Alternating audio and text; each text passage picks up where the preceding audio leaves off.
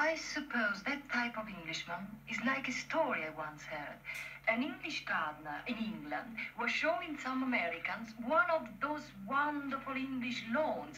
And of course, they wanted to know how to make a lawn like that. And this English gardener said, He said, all you have to do is get some good grass and roll it every day for 600 years. I heard that story before you were born. Englishmen tell it when they're feeling down in the mouth. just don't understand the child type. You're not even listening. You never do. Someday I'll say goodbye and you won't hear that either.